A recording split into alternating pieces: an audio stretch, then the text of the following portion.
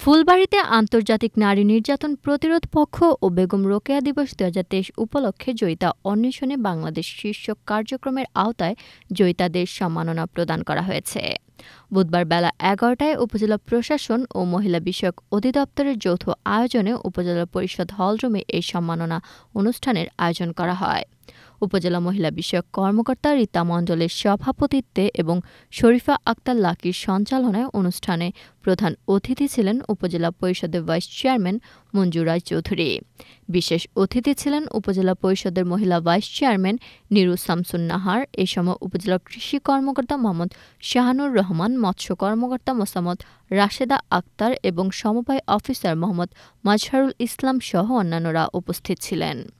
পরে মহিলা vice chairman Niru Shamsun Nahar সহ বিভিন্ন ক্ষেত্রে সফল পাঁচজন নারীকে জয়িতা সম্মাননা প্রদান করা হয়।